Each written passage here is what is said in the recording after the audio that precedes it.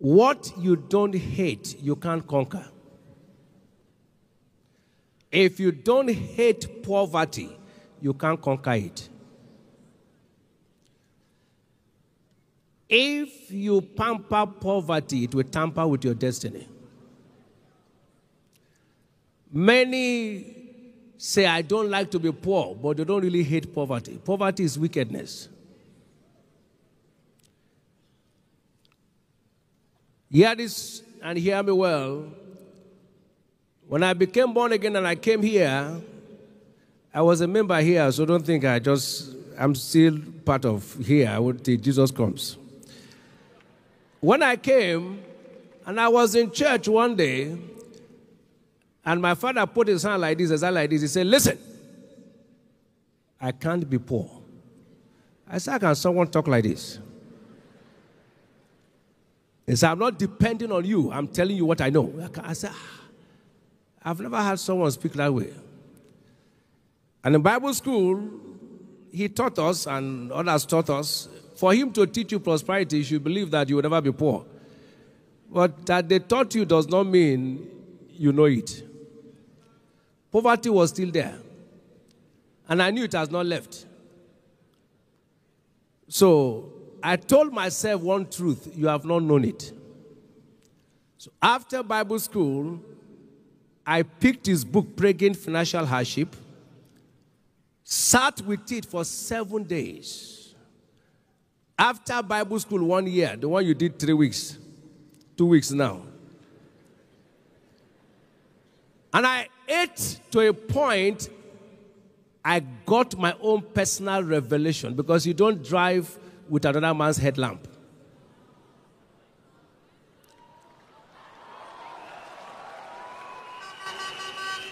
And I said, I can see the secret why my father would say nothing can make him.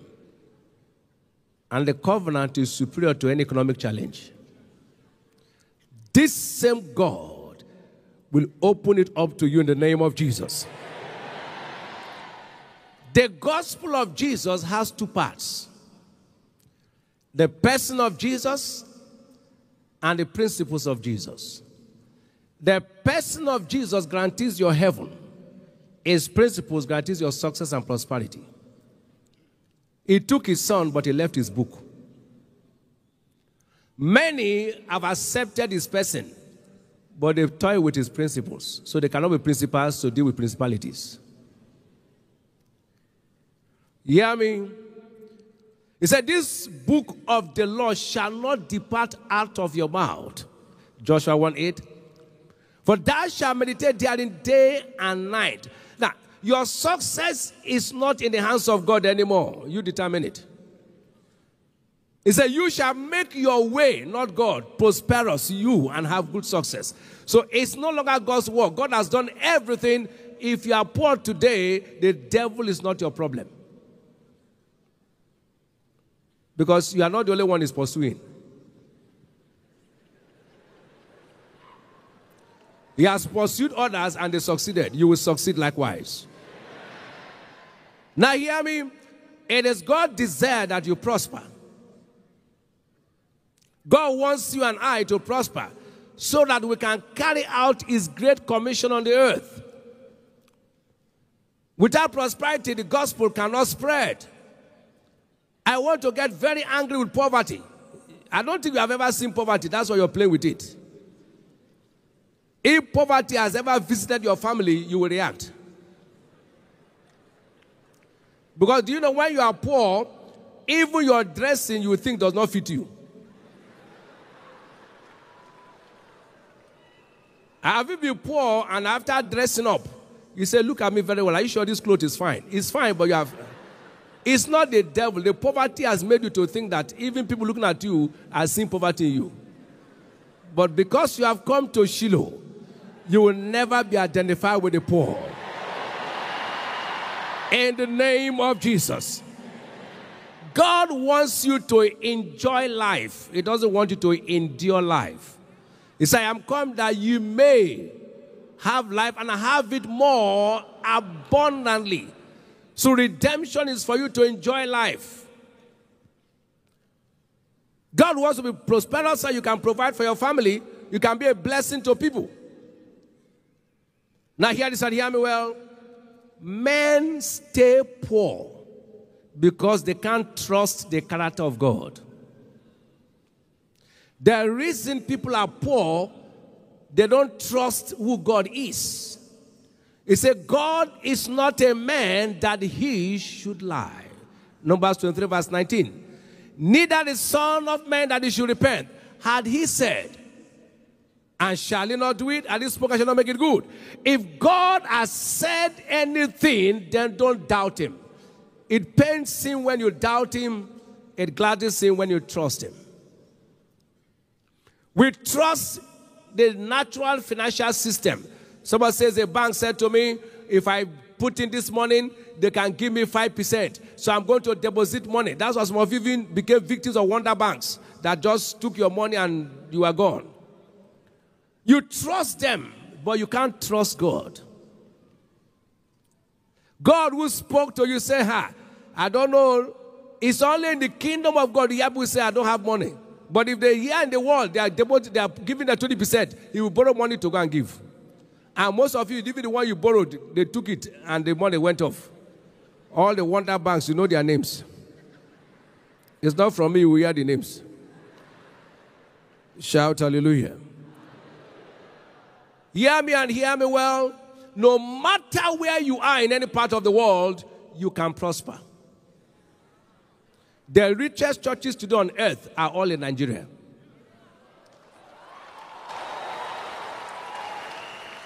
And you know, here at the headquarters, and other ones I can't mention now.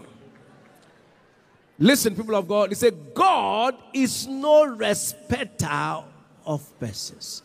But in every nation, including the nation where you're watching from.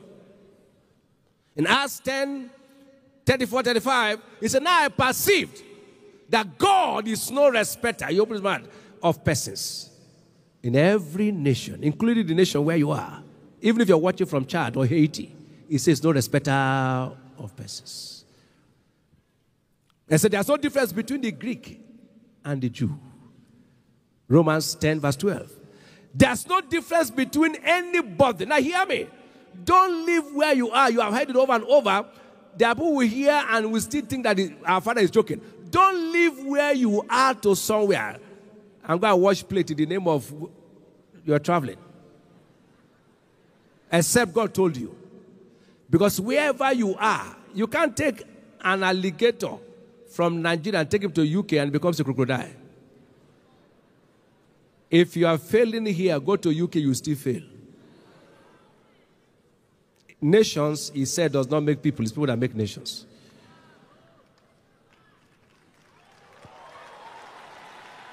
Hear me, people of God. We all have equal opportunity on earth. If, if Ecclesiastes chapter 5, verse 9. The entire earth, everyone, so moreover, the profit of the earth is not for few people, it's for all of us. May your own portion be delivered to you. And for men and women, the same opportunity. Galatians 3:28. You can read that later. Now hear me. Christ has redeemed us from the curse of the law. Hope you know one of the things we are redeemed from is poverty, sin, natural, untimely death, and poverty. That you might enjoy the blessing of Abraham.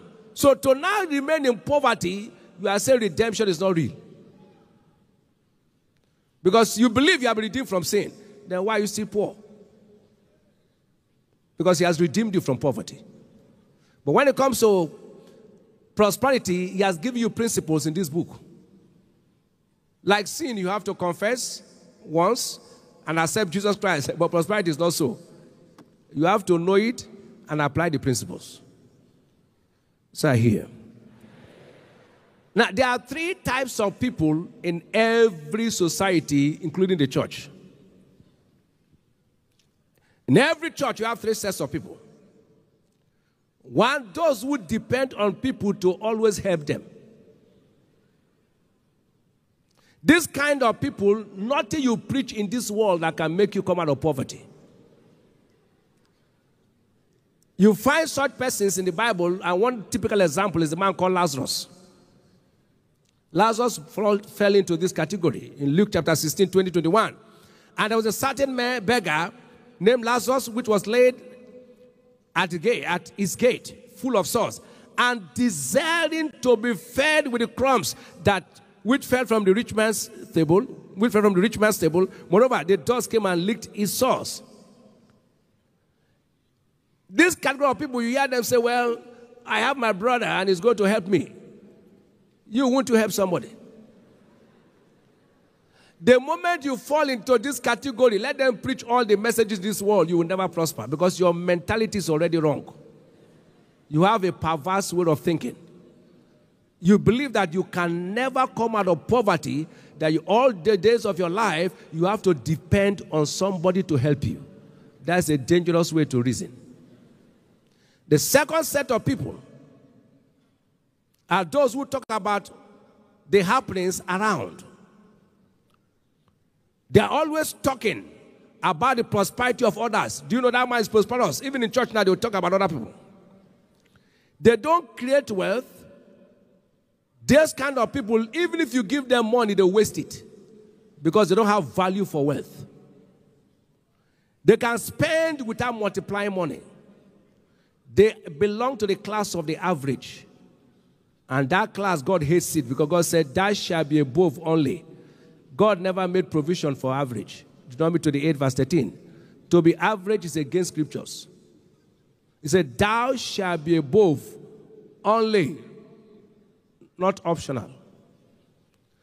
Such people, all they just keep talking about events, they never talk about the word. And then the third set of people are the kingdom investors. The kingdom what? They are kingdom promoters. They go for ideas to create wealth from God's word. They are very attentive to the word of God that will change their lives. They are the wealthy. They may not have money right now, but they know where they are going. And you'll be among such persons in the name of Jesus. now, how to engage the covenant power of wealth? How do I engage it? Now, hear this. If I have a car and it's very fine, I come in the morning and I said, Look at my car. This, this is a good car, a Rolls Royce. The key is with me. And I just turn it on, press the throttle. Will the car move? Until I engage the gear. Otherwise, I'll just be making a make, ooh, the car will be on the same point. You will never gain motion if you don't put to use the things I'm about to share with you. Until you engage the gear, that car will never move. It will be motionless. So also, until you begin to put the things you have heard, your life will remain at the same spot. That will not be your portion. So, how do I engage the covenant power if I want to enjoy kingdom wealth? Number one is love for God. There difference between the love of God and the love for God. They are not the same. The love of God is the one He loved us. He said, The love of God has been shed abroad in your heart. The love for God is the one you have to demonstrate towards Him. We mix it. The love of God, God has already loved us. Yeah, the Holy Ghost has shed blood of God in our heart.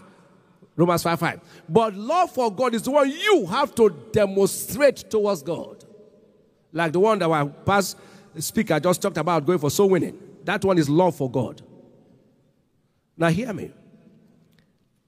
He said, Thou shalt love the Lord. I'm reading Mark 12 30.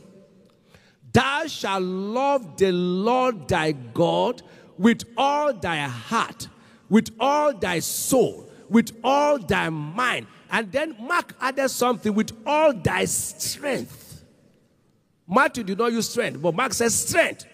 For this is the first commandment.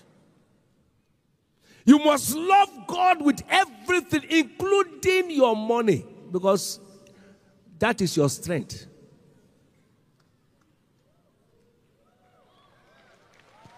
Any love that does not involve your money is fake.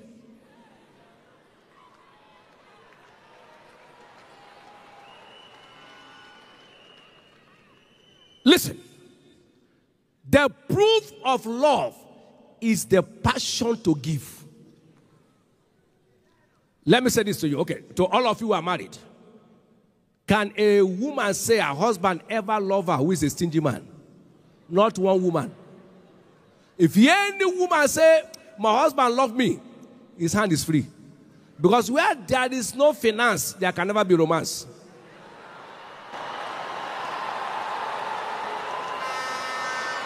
Are you hearing me? Any woman you hear in the world, my husband loves me so much, is not no stingy man with a wife. They said, Don't mind that my husband, very stingy. So also, you can't tell your you love God, and then when it comes to your pocket, you say, No, God knows I don't have. Check your love, oh. Yeah, hear this and hear me well. For you to enjoy covenant worth, I'm not going to say many things because here is where I learned everything. I'm still learning. If I tell you there's no day I don't listen to him, so there's no point. Out of the tapes, there's no day. As he get the tapes, you don't know. There's not the preacher that I don't, I don't listen to. As you're hearing it, I'm hearing it. Is there any copyright law? Okay, there's no copyright law for Bible. And it's my father, so there's no copyright law there. If I'm getting results, anybody who wants to find, find out, that's his own business. Now, listen carefully. For instance, I can't say I love God with my strength and I'm struggling to tithe. Something's wrong somewhere. Something's wrong? Tithing is simple a demonstration of obedience to God. While my giving is actually a demonstration of my love for God. You don't love God when you pay tithe. Because tithe is his own. You have not started demonstrating love with tithe. So for a Christian to be struggling to pay tithe, ah, you have not started at all.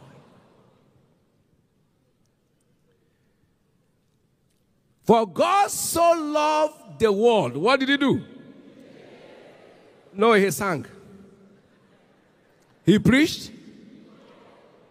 He sat on a chair and was copying note.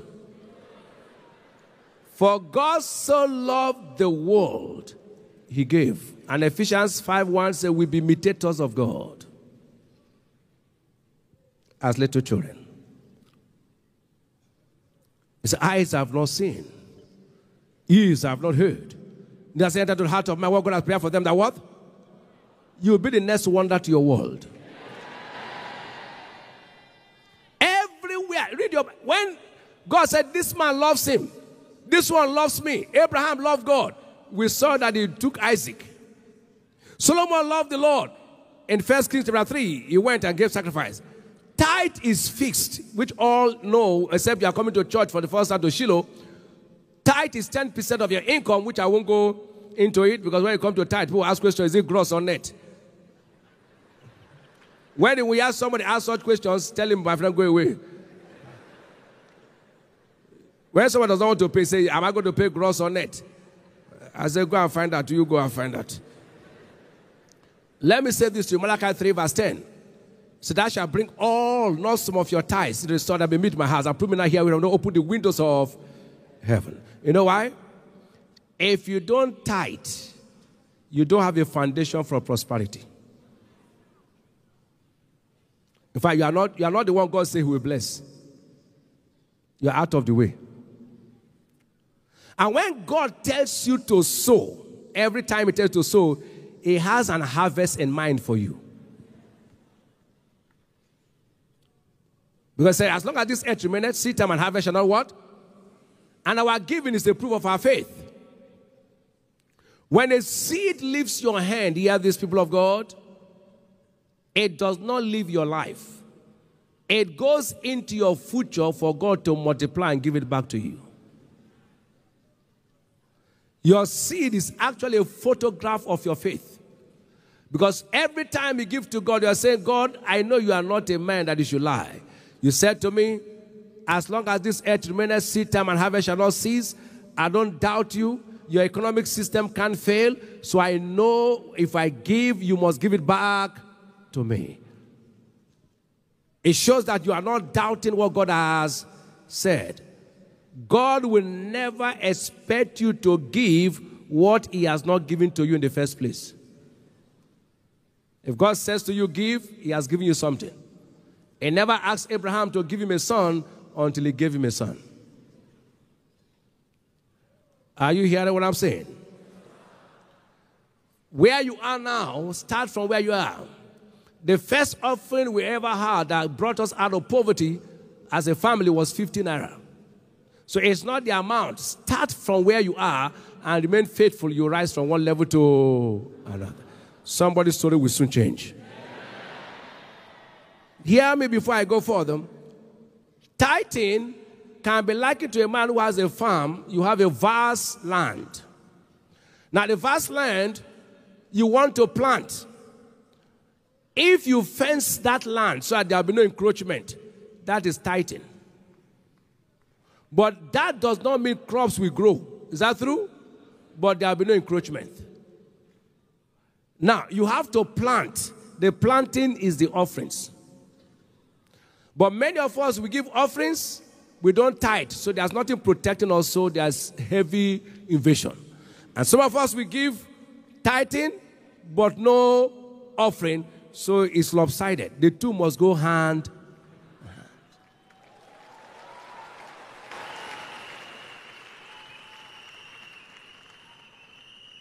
God treasures every giver. The quality of your seed determines the quality of your harvest. And the only way you can overcome greed is to be a giver. But many of us, in giving, some of us we pay tithe, we give offerings, but why is it not producing? Because before we even give, we have started complaining. Since I have come to this church, there's a Shiloh sacrifice I've given. They say we should donate, give for a boss. I've given. You are saying it in your room. Oh? They say this one I've given. I don't know what is even happening to now. Is that that is causing it? You have complained, you have murmured as if God is a tax master. 2 Corinthians 9, verse 7 says, God is loves a cheerful what? Many of us we give, we also we are impatient. We are what? Impatient. We we what does that the day that you are hungry does not mean if you plant something today, you can uproot it. Even if you're hungry, will you uproot it that day? So the day you plant, not the day you harvest. You have to be patient. You can't go uproot, say now, I've put corn now, I'm hungry. No, no, it must grow. So be patient. I am Hebrews 10, verse 36, Galatians 6, 9. It says, and let us not be willing well doing, but let us be willing well doing, but in due season we shall reap if we faint. And then yesterday, so much was said about words, so I will not dwell too much. Wrong use of words. Proverbs 12, verse 14, Proverbs 13, verse 2. You shall have whatever you said. Mark 11, 23. You know, most of us, after we give, he said, Come. In our church, they say we should not talk like that. But you know, you, I can confide in you. Let me tell you what is the problem. Things are very hard, though. But in our church, they say we should not so so. But you know, you, uh, that thing you are talking is a problem you have. You know, you know, you know, Papa said you must confess that, but for you, I will tell you how it is now. I'll tell you how it is. These are very hard to, for church. We say when you go to church, say it's well, oh, it's well. Inside house, all those things are the problem where things are not working.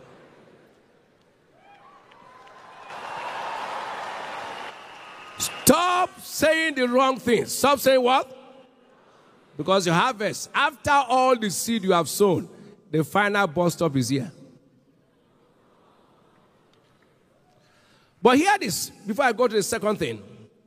Many of us are good givers. we give, we do everything. But in the midst of economic challenge, we can't prosper. During the meltdown, many suffered. Why? How come Abraham prospered in famine? Isaac prospered in famine. Jacob prospered in hardship. Joseph prospered. They had one common denominator. Joseph could prosper in a strange land.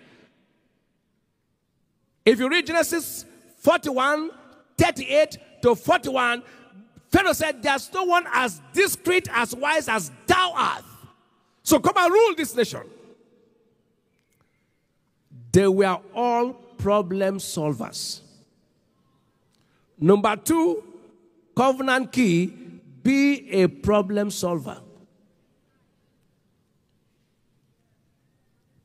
We are created to solve problems on earth. Everything created is a solution to a specific problem on the earth. Your ears hear, your eyes see, your mind thinks. Are you hearing me now? Everything. The minister of the gospel solves spiritual problems. Your mother solves emotional problems. That's why every family, children are closer to mothers when they have emotional problem. The lawyer solves legal, and every problem you solve brings you money.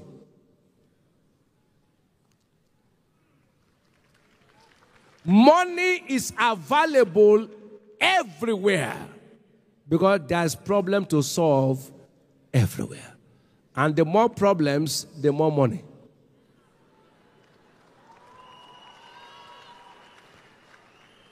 The more problems you solve, the wealthier you become. For instance, Nigeria, where we are transmitting from to the entire world, has too many problems.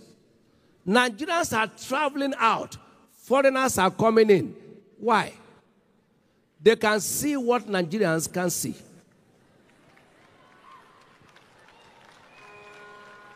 Every problem is money. And covenant children should be able to see brighter than unbelievers. May your eyes be open from today. Because problems are the bad place for common promotion. Daniel was promoted when he saw problem for Nebuchadnezzar, for the king. Joseph was promoted when he saw problem for Pharaoh. Your promotion is coming. So stop discussing problems. Start looking for opportunities to solve them. That's where prosperity is. People will only look for you when you are able to solve their problems. So look around you, the where you're living, the town you are, your immediate environment. There's always a problem to solve. I was in Enugu for a crusade, and I was talking to them, and I said, Enugu is one of the states in the southeast of Nigeria. They don't have water in Enugu. 80% of Enugu use till today. They take water because they say they have coal. So I smile. As Israel is inside and they have water. And somebody said they don't have water. So going to open water factory now in Enugu makes you a millionaire. Yes, somebody did not see it. And somebody in Enugu is traveling to go to somewhere to go and wash plate. Everywhere you are, there's something that God has kept to bring you out of challenge. May your eyes see it. Shout a better amen. The tithe you are paying, why are you paying tithe? God opens you and gives you ideas to solve problems. Now, number three, covenant keys trustworthiness. Trust what? Can God trust you?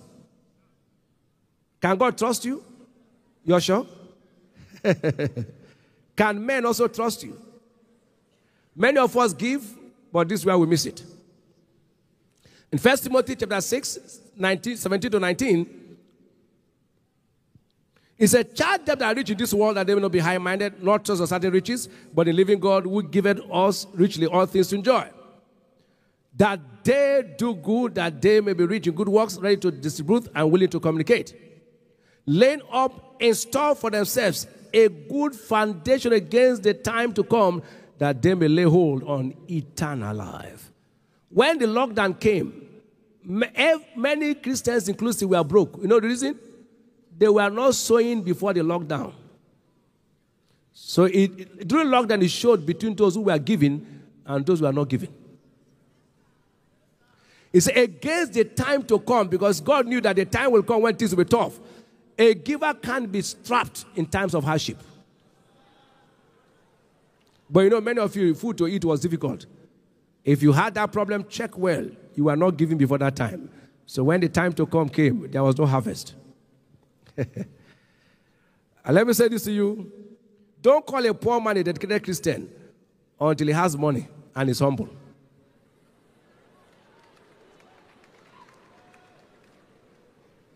That he comes to sanctuary to work every day, let him have money first.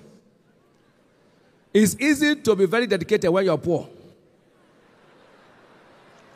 Your true dedication will come out to see when you have money and you're still dedicated. They said, This man is a child of God. You know why? You have too, you have too many prayer requests when you are in poverty. You see, you see, as our father is now, he's not a poor man. He goes for soul winning. So he's not saying, I'm going for soul winning, oh God, give me money. But you know, poor man can decide to go for soul winning, say, oh God, this is where I'm going. Give me job. Okay, let him get the job and still go for soul winning. They say, this man is a child of God.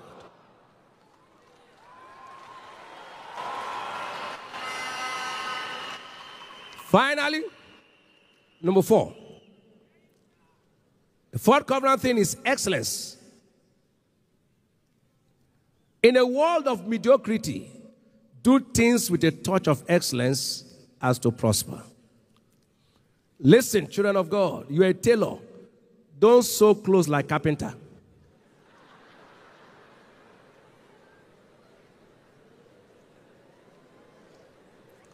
If you like, be in tomorrow's anointing service. Anoint your shop. Use mantle. And your food is not sweet, nobody will come.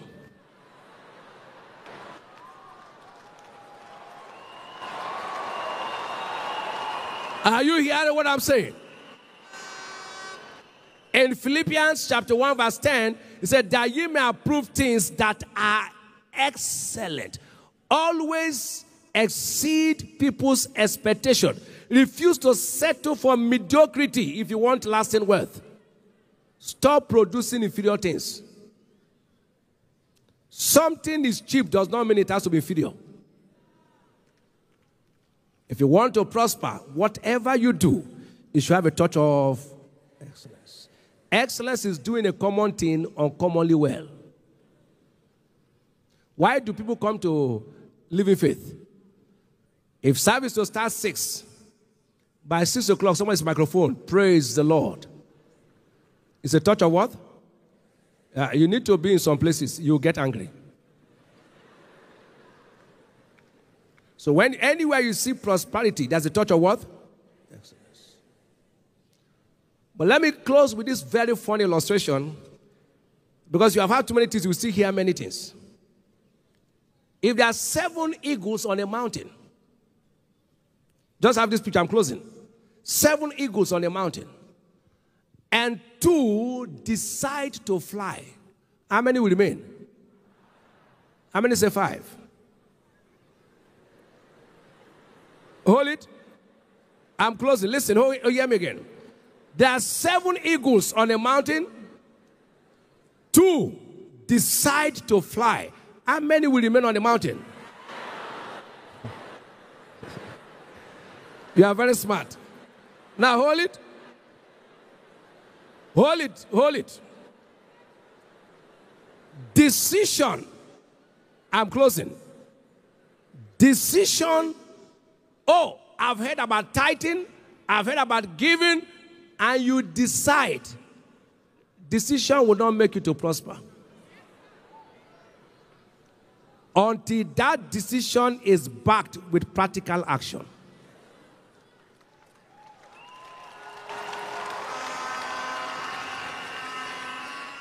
Jesus said, and I close with that scripture John 13, 17. If you know these things, happy are ye if you do them. If you know about tithing, you know about giving, then do it. If you like, copy all the note, confess all the confession, do all the prayers, and you are not a giver, you will still be a pauper. There's no God forbid, you forbid stinginess.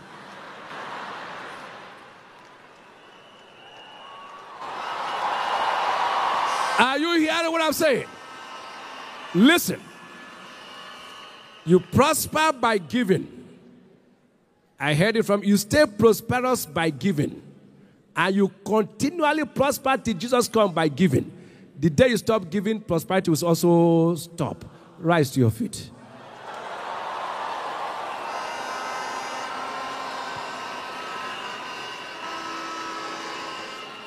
Listen. I read the whole Bible. I never saw where Jesus prayed for the poor. He never prayed for the poor. Read your Bible. He taught the poor. Read Matthew 11. Where he said, Blessed are these. When he came to the poor, he said, And the gospel is preached to the poor. It is and Jesus prayed for the poor. So you don't need prayer. Put it to practice. Give thanks to God.